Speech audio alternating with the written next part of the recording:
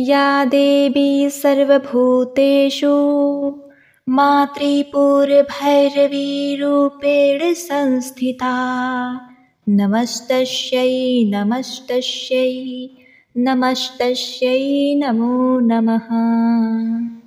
जय माता दी ओम नमः शिवाय। प्रिय भक्तगणों, आज गुप्त नवरात्रि का छठा दिन, भक्ति और मुक्ति की अधिष्ठात्री। माँ कात्यायनी त्रिपुर भैरवी को समर्पित है। इस दिन इनकी कथा का श्रवण करने और पूजा पाठ करने से माता त्रिपुर भैरवी भक्तों को सफलता एवं संपदा प्रदान करती हैं। माँ की साधना से अहंकार का नाश होता है। मान्यता है कि माँ अपने भक्तों पर प्रसन्न हो जाती हैं तो उन्हें साक्षात दर्शन भी देती हैं और समस्त मनोकामनाओं की पूर्ति करती हैं। माँ मोक्ष प्रदान करती हैं। दुख संताप जड़ से खत्म हो जाता है। तो आज मैं सुना रही हूँ, गुप्त नवरात्रि के छठे दिन सुनी जाने वाली मातृपुर भैरवी और माँ कात्यायनी की पावन पौराणिक दुर्लभ कथा, जिसे आप सभी भक्तगण बड़े ही प्रसन्न चित मन से सुनिए और वीडियो को लाइक करके कमेंट में जय माता रानी अवश्य लिखें। चैनल को सब्सक्राइब करके बेल बटन को भी दबाएँ। ओम दुम दुर्गाए नमः। जय माता दी प्रिय भक्तगणों माँ त्रिपुर सुंदरी के कथा के अनुसार, जब माता पार्वती ने भगवान शिव से मृत्यु के दर्द से मनुष्य की मुक्ति के लिए उपाय पूछा, तब भगवान शिव ने दस महाविद्याओं में से माँ त्रिपुर भैरवी को प्रकट किया। जब समस्त पृथ्वी पर मनुष्यों का अस्तित्व हो गया था, तब उस समय देवताओं को यह चिंता हो गई थी कि यदि पृथ्वी पर इसी प्रकार मनुष्यों का जन्म होता रहा तो उनकी अंत की कोई व्यवस्था नहीं होगी। सृष्टि का संतुलन बिगड़ जाएगा।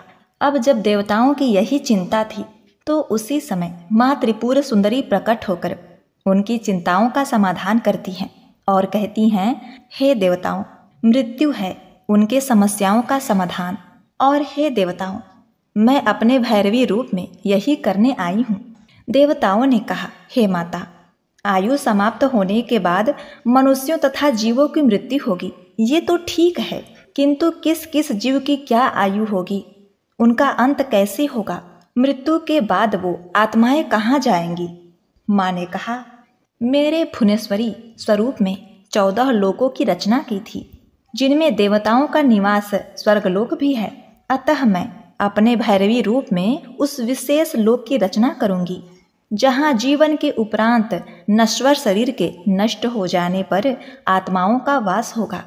ऐसा कहकर माता ने अपने जटा से एक शिखा तोड़कर उसे नीचे पटक दिया और उस जटा से यमलोक का निर्माण हुआ, जहाँ पर पाप आत्माओं और पुण्य आत्माओं के लिए स्थान अलग अलग था। आगे माँ ने कहा कि प्रत्येक मनुष्य को उनके कर्मों के अनुसार मृत्यु के पश्चात उनके द्वारा रचे लोक में आना होगा। जो सत्कर्म करेंगे, उन्हें स्वर्ग प्राप्त होगा और जो दुष्कर्म करेंगे, उन आत्माओं को यहाँ से होकर नरक में जाना होगा। किंतु जिन जीवों के लिए भक्ति ही सर्वोपरि रहेगी, माता की चाहे किसी अन्य देवता की तो उन मनुष्य रूपी आत्माओं को मोक्ष की प्राप्ति होगी। विष्णु लोक, ब्रह्म लोक अथवा कैलाश, अर्थात दिव्य लोक में स्थित होंगे। प्रिय भक्तों, इस प्रकार माता ने मृत्यु लोक का निर्माण किया। और इस लोक का कार्यभार यमदेव को सौंप दिया। यह कथा उस समय की है जब सूर्य देव का तेज निरंतर बढ़ता जा रहा था और सूर्य देव की पत्नी से उनकी दो संतानें थी, यमदेव और यमुना। उस समय जब सूर्य देव का ताप निरंतर बढ़ रहा था तो उस ताप को देवी संज्ञा सहन नहीं कर पा रही थी। इस कारण सूर्यदेव भी उनसे रुष्ट रहने लगे। माता संज्ञा जब देखती हैं कि उनके पति उनके सानिध्य के बिना अधूरे हैं और रुष्ट रहते हैं। इसके निवारण के लिए उन्होंने देवी माँ त्रिपुर भैरवी से प्रार्थना की और उन्हें यह उपाय सूझा कि क्यों ना वे अपनी प्रति छाया को यहीं पर छोड़कर तपस्या के लिए पृथ्वी लोक पर चली जाए। संज्ञा ने अपनी परछाई से एक स्त्री उत्पन्न की, जिसका नाम उन्होंने छाया रखा। उन्होंने अपने प्रति छाया को यह आज्ञा दे दी। कि उनके ना रहते समय वे सूर्य देव का ध्यान रखें और उनकी सेवा करें। और किसी को भी इस रहस्य का पता नहीं चलना चाहिए कि सूर्य लोक में देवी संज्ञा नहीं है। अब यह कहकर देवी संज्ञा वहाँ से पृथ्वी लोक के लिए चली गई, जहाँ वे तपस्या करने लगी। अब यहाँ पर यमदेव भी तपस्या के लिए चले गए थे। अब देवी छाया खुशी पूर्वक बड़े ही प्रसन्नता से सूर्यदेव का सेवा भाव करने लगी। सूर्यदेव को भी नहीं पता था कि यह मेरी पत्नी नहीं, बल्कि उनकी छाया है। सूर्यदेव भी उनके साथ पति की तरह व्यवहार करते और खुशी खुशी समय व्यतीत हो रहा था। इस बीच शनि देव का भी जन्म हुआ। किंतु जब यमदेव तपस्या से वापस आ चुके थे तो उन्हें यह आभास हुआ कि यह उनकी माँ नहीं है, क्योंकि छाया तो जानती ही नहीं थी कि संज्ञा देवी का एक पुत्र यमदेव भी है। इस कारण वे उन्हें पहचान नहीं पाई। यमदेव को यह बड़ा अटपटा लगा कि भला कोई माता अपने पुत्र को कैसे नहीं पहचान पाएगी? यह तो मेरी माता नहीं है। इस बात को यमदेव ने सूर्यदेव से कहा। सूर्यदेव को बहुत ही क्रोध आया। तब सूर्यदेव का क्रोध देखकर छाया ने उनसे विनती करते हुए कहा, आप अपने पुत्र को दंड ना दें, उससे क्रोधित ना हो। दरअसल वे संज्ञा नहीं, बल्कि उनके प्रति रूप छाया हैं। और संज्ञा देवी पृथ्वी लोक पर तपस्या के लिए चली गई हैं। प्रिय भक्तगणों, इतना सुनने के बाद सूर्यदेव को बहुत ही क्रोध आया। अब वे अपने ससुर विश्वकर्मा जी के पास जा पहुँचे और उनसे सारी बातें कहने लगे और क्रोध में उनके शरीर से अद्भुत तरंगे निकलने लगी और वे तरंगे एक जल पात्र में जाकर इकट्ठा होने लगी। यह सब देखकर इस समस्या का एक उपाय सूझा। उन्होंने सूर्यदेव के ताप को कम किया और जल में स्थित उन अद्भुत किरणों से उन्होंने देवताओं के लिए अस्त्र शस्त्र तैयार किया और वे अस्त्र शस्त्र देवताओं को उन्होंने भेंट भी किया। किंतु जो उस पात्र में बाकी की ऊर्जा थी, उससे उन्होंने अनजाने में ही एक पाश का निर्माण कर दिया। अब सवाल ये उठा कि यह पास किसको दिया जाए? जब बारी बारी करके सभी देवता उस पास को लेने के लिए आगे बढ़े, उस पास ने देवताओं को स्वीकार नहीं किया। उसे तो अपने स्वामी की तलाश थी। अब उसी समय यमदेव अपने पिता को ढूंढते हुए अपने नाना के घर विश्वकर्मा जी के पास जा पहुँचे। वहीं पर भगवान भोलेनाथ भी मौजूद थे। उन्होंने यमदेव को उस पास को ग्रहण करने के लिए कहा।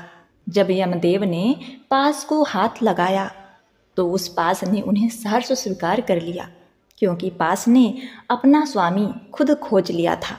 अब इस प्रकार माता भैरवी की कृपा से यमदेव को मृत्यु पास प्राप्त हुआ। ये सब देखकर देवराज इंद्र को बहुत ही क्रोध आया कि वे इतने बड़े देवताओं के राजा हैं। उन्हें यह पास प्राप्त क्यों नहीं हुआ? यह पास एक बालक को ही क्यों प्राप्त हुआ? इतना शक्तिशाली पास, इस बालक के पास क्यों? अब इस प्रश्नों के उत्तर के लिए माँ देवी त्रिपुर भैरवी वहाँ प्रकट हुई। उन्होंने कहा, हे देवराज, यह पाश, मृत्यु पाश है। इसने अपना स्वामी खुद चुना है। और उन्होंने आगे कहा, यम निश्चल और पवित्र हैं। उनके हृदय में कोई भी भेदभाव और कोई भी अहंकार नहीं है। इसलिए यह पाश उन्हें प्राप्त होता है।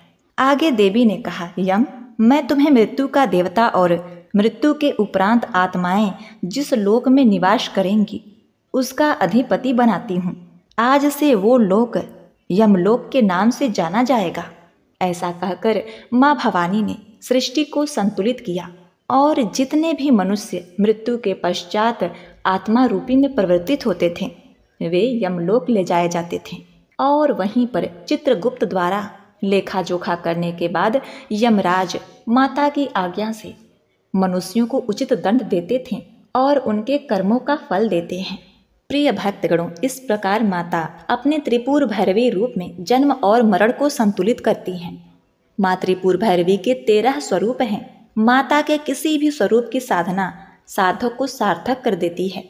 माँ त्रिपुर भैरवी कंठ में मुंड माला धारण किए हुए हैं। माँ ने लाल वस्त्र धारण किए हैं। माँ के हाथ में विद्या तत्व है, माँ त्रिपुर भैरवी की पूजा में लाल रंग का प्रयोग करने से माता अति शीघ्र प्रसन्न हो जाती हैं। माँ त्रिपुर भैरवी के बीज मंत्रों का जप करने से संकटों से मुक्ति मिलती है। इन मंत्रों का जाप करने वाला सौभाग्य और आरोग्य का अधिकारी बन जाता है। माँ शक्ति स्वरूपा हैं, ये कमल के आसन पर विराजमान हैं। यह स्वरूप देवी का सौम्य स्वभाव युक्त है। भगवती त्रिपुर भैरवी ने ही अठारह भुजा युक्त देवी दुर्गा में उत्तम मधु का पान कर महिषासुर का वध किया था। इसीलिए इनको महिषासुर मर्दनी भी कहा जाता है। देवी त्रिपुर भैरवी का संबंध काल भैरव से है। काल भैरव को भगवान शंकर का ही अवतार माना जाता है। काल भैरव दंडाधिकारी हैं और देवी भगवती दंडाधिकारिणी है। दुष्कर्मों का दंड यमराज या धर्मराज देते हैं। प्रिय भक्तों, त्रिपुर भैरवी, काल भैरव तथा यमराज से भला कौन नहीं डरता? शमशान भूमि अस्त्र शस्त्र मृत शव, रक्त मांस, कंकाल, खप्पर, मदिरा पान, धूम्रपान आदि विध्वंसकारी चीज़ें देवी को प्रिय हैं। भूत प्रेत पिचास डाकिनी, भैरव कुत्ते आदि इनकी सेना है। जीवन काल में तो प्राणी को दंड मिलता ही है, लेकिन मृत्यु के उपरांत भी देवी भगवती दंड देती हैं। यह मिथ्या जगत देवी में ही विलीन हो जाता है।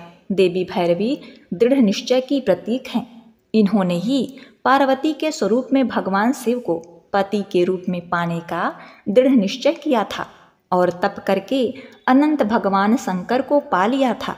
देवी के भैरव बटुक हैं तथा भगवान नरसिंह शक्ति हैं। देवी की शक्ति काल रात्रि तथा भैरव काल भैरव हैं।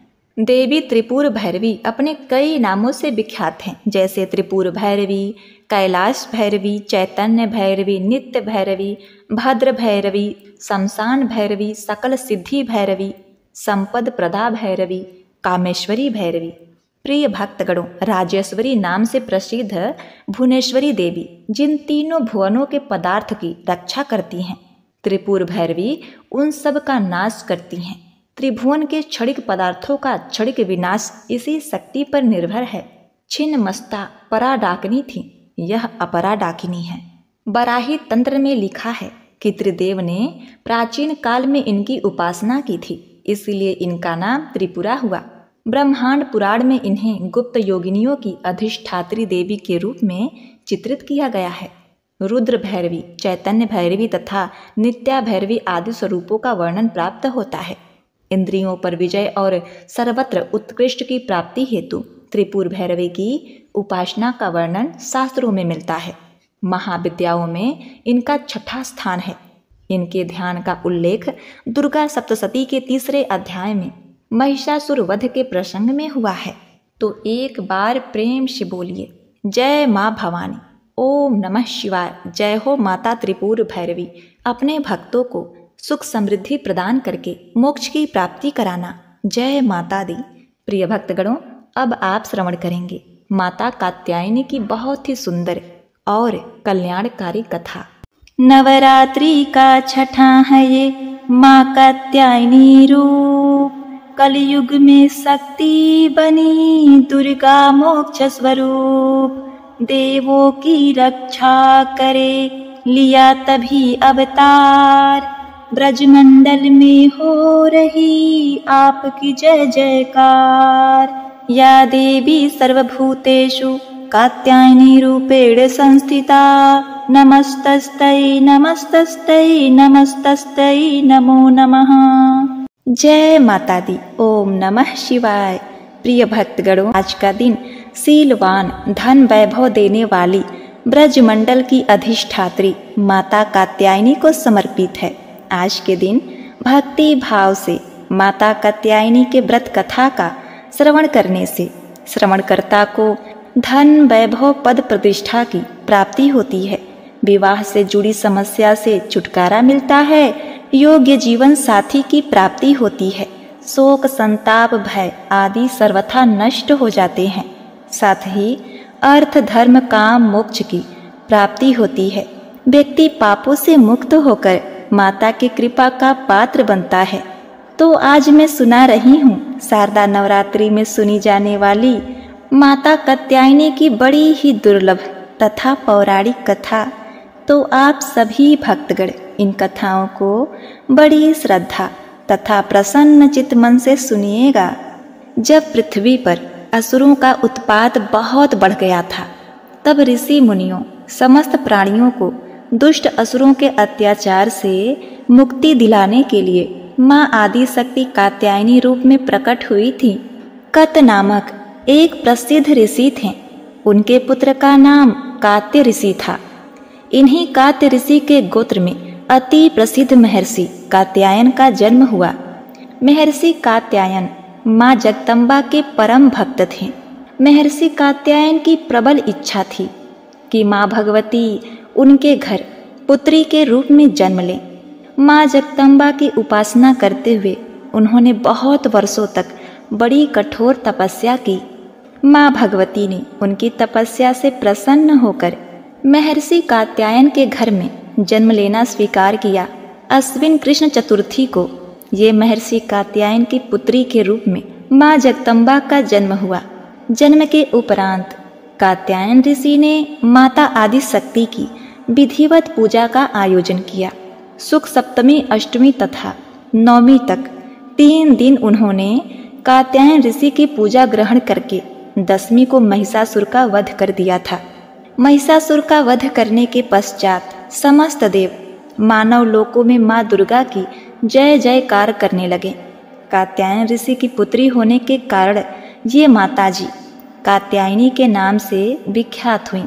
इनसे जुड़ी एक दूसरी कथा और भी है। इस कथा के अनुसार महर्षि कात्यायन ने सर्वप्रथम माँ कात्यायनी की पूजा की। इसी कारण यह कात्यायनी कहलाई। माँ कात्यायनी अपने भक्त को निश्चित फल प्रदान करती हैं। भगवान कृष्ण को पति के रूप में पाने के लिए ब्रज की गोपियों ने इन्हीं की पूजा कालंदी यमुना के तट पर किया था। ये ब्रज मंडल की अधिष्ठात्री देवी के रूप में प्रतिष्ठित हैं। भगवान श्री कृष्ण ने भी माता कात्यायनी की पूजा की थी।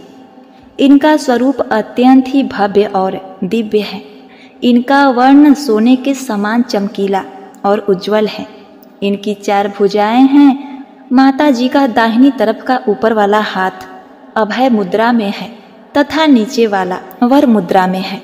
बाई तरफ़ के ऊपर वाले हाथ में तलवार और नीचे वाले हाथ में कमल पुष्प सुशोभित है। इनका वाहन सिंह है। इनकी भक्ति को परिपूर्ण, आत्मदान करने वाले ऐसे भक्त को सहज भाव से माँ कात्यायनी के दर्शन प्राप्त होते हैं। माँ कात्यायनी की भक्ति और उपासना द्वारा मनुष्य को बड़ी ही सरलता से अर्थ, धर्म, काम, मोक्ष की प्राप्ति होती है। उसके रोग, शोक, संताप, भय आदि सर्वथा नष्ट हो जाते हैं। प्रिय भक्तगणों, अब आइए सुनते हैं कन्याकुमारी माता की कथा। शिव पुराण में लिखित एक बहुत ही प्रसिद्ध कथा के अनुसार वाड़ासुर नाम के एक असुर ने देवताओं को अपने कुकर्मों से पीड़ित कर रखा था। सभी देवता इस असुर से मुक्ति पाना चाहते थे, लेकिन कोई भी इसे मार नहीं पा रहा था, क्योंकि इस असुर को भगवान शिव की ओर से वरदान प्राप्त था। कि उसकी मृत्यु केवल कुंवारी कन्या के हाथों से होगी। यह वरदान उसे भगवान शिव की कड़ी तपस्या के बाद मिला था। उसी राक्षस का वध करने के लिए आदि शक्ति के एक अंश से एक पुत्री को जन्माया गया। इस पुत्री का जन्म एक राजा के घर हुआ। राजा के आठ पुत्र और एक पुत्री थी। इसी पुत्री का नाम रखा गया कन्या। इस कन्या को भगवान शिव से प्रेम हुआ और उन्हें पाने के लिए कन्या ने कठोर तपस्या की। उनकी तपस्या से भगवान शिव प्रसन्न हुए और विवाह का वचन दिया। विवाह की तैयारी शुरू की गई। भगवान शिव तय कार्यक्रम के अनुसार कैलाश से बारात लेकर चल दिए। बारात कन्याकुमारी से लगभग बारह किमी दूर सुचिंद्रम गाँव में ठहरी। उधर कन्याकुमारी का विवाह होते देख देवतागण परेशान हो गए कि अब बाड़ासुर का वध कैसे होगा। पहले तो उन्होंने देवी को समझाने का बहुत प्रयास किया, लेकिन जब बात नहीं बनी तो छल का सहारा लिया। विवाह का समय ब्रह्म मुहूर्त रखा गया, लेकिन नारद जी ने आधी रात को ही मुर्गे का रूप लेकर बाग दे दिया। शिव जी को लगा कि सुबह हो गई और वह ब्रह्म मुहूर्त पर नहीं पहुँच पाएँगे। इसीलिए भोलेनाथ बारात लेकर वापस कैलाश पर्वत पर लौट गए। उधर दुल्हन के रूप में तैयार देवी ने जब देखा कि बारात नहीं आई तो वह दुख और क्रोध से भर उठी। उन्होंने क्रोध में आकर बारात के लिए बना सारा भोजन समुद्र में फेंक दिया। कहा जाता है कि कन्याकुमारी के तट की रेत में आज भी कई रंग बिरंगे पत्थर के कड़ मिलते हैं, जो देखने में दाल चावल जैसे लगते हैं। प्रिय भक्तों, बारात लौटने के बाद देवी कुमारी के दिव्य सौंदर्य की चर्चा वाड़ासुर तक भी पहुँच गई। उसने देवी के पास विवाह का प्रस्ताव भेजा। देवी के मना करने पर वह ज़बरदस्ती पर उतारू हो गया। तब बाड़ासुर और देवी में भयंकर युद्ध हुआ, जहाँ देवी ने चक्र से उसका वध कर दिया। बाड़ासुर के वध के बाद परशुराम और नारद जी ने देवी से कलयुग की आखिरी तक उसी जगह पर रहकर आसुरी शक्तियों से लड़ने की प्रार्थना की, जिसे उन्होंने स्वीकार भी कर लिया। इसके बाद परशुराम ने समुद्र तट पर एक विशाल मंदिर की स्थापना की, जहाँ कन्या रूप देवी को स्थापित किया गया। मंदिर में देवी की काले पत्थर की प्रतिमा है। इनके दाएँ हाथ में एक कमल है। प्रिय भक्तगणों, उन्हें देखने पर ऐसा लगता है, मानो सोलह श्रृंगार में देवी आज भी शिव जी के आने का इंतज़ार कर रही हूँ। एक बार प्रेम से बोलिए, जय माता कन्याकुमारी, जय हो माता कात्यायनी, ओम नमः शिवाय। अब आइए सुनते हैं माता रानी की दूसरी कथा। माँ दुर्गा को सिरावाली के नाम से पुकारने के पीछे एक कथा भी प्रचलित है। इस कथा के अनुसार भगवान शिव को अपने पति के रूप में पाने के लिए माँ पार्वती ने हज़ारों वर्षों तक तपस्या की थी। इस तपस्या का तेज इतना अधिक था कि पार्वती माता का गोरा रंग सावला पड़ गया था। लेकिन तपस्या सफल हुई और माँ पार्वती को भगवान शिव पति के रूप में प्राप्त हुए एक बार शाम के समय माँ पार्वती और भगवान शिव एक साथ कैलाश पर्वत पर बैठे थे। तभी हँसी हँसी में माता पार्वती को शिव जी ने काली कहकर पुकारा, लेकिन वह पार्वती जी को बिल्कुल अच्छा नहीं लगा। उन्होंने तुरंत कैलाश छोड़ दिया। वो वन में तपस्या करने चली गईं, जिससे उनका गोरा रंग उन्हें वापस मिल पाए। जब वे वन में तपस्या कर रही थीं, तब एक शेर वहाँ आ गया और उन्हें खाना चाहता था, लेकिन माता की तपस्या को शेर चुपचाप बैठकर देख रहा था। माता रानी ने वर्षों तक तपस्या किया। उनकी तपस्या खत्म होने तक शेर वहीं बैठा रहा। माता पार्वती की तपस्या को खत्म करने के लिए शिव जी उनके पास आए। उन्होंने माता को गोरा होने का आशीर्वाद दिया। वरदान पाने के बाद माँ पार्वती स्नान करने के लिए गई। जब वो स्नान करने गई तो उनके शरीर से एक और काले रंग की देवी निकली। इनके निकलते ही माता गोरी हो गई। इन काली देवी का नाम कौशिकी पड़ गया। फिर माता पार्वती का रंग गोरा हो गया।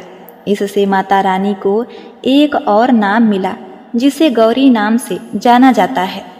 अब देखिए, जब माता पार्वती स्नान करके बाहर आई तो अपने तप स्थान पर एक शेर को बैठा हुआ पाया। बाद में उन्हें ज्ञात हुआ कि उनका भक्षण करने आए शेर ने उन्हें अपना ग्रास नहीं बनाया और इतने वर्षों तक उनके समीप बैठा रहा। इस तरह वह भी उनके तप में सम्मिलित रहा। प्रसन्न हो वर्षों तक तप में साथ देने वाले शेर को उन्होंने अपना वाहन बना लिया।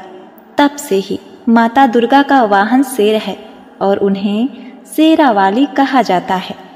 एक बार प्रेम से बोलिए, जय माँ दुर्गा। जय माता शेरा वाली ओम नमः शिवाय। अम्बे तू है जगतम्बे काली, जय दुर्गे खप्पर वाली तेरे ही गुण गाए। भारती ओ मैया हम सब उतारे तेरी आरती। तेरे भक्त जनों पर भीड़ पड़ी है मैया भारी। दानो दल पर टूट पड़ो माँ करके सिंह सवारी। सौ सौ सिंहों से तू बलशाली, अष्ट भुजाओं वाली, दुष्टों को पल में संघारती ओ मैया, हम सब उतारें तेरी आरती। अम्बे तू है जगतम्बे काली, जय दुर्गे खप्पर वाली, तेरे ही गुण गाएँ भारती। ओ मैया, हम सब उतारे तेरी आरती। माँ बेटे का है इस जग में बड़ा ही निर्मल नाता पूत कपूत सुने हैं पर न माता, सुनी कुमाता।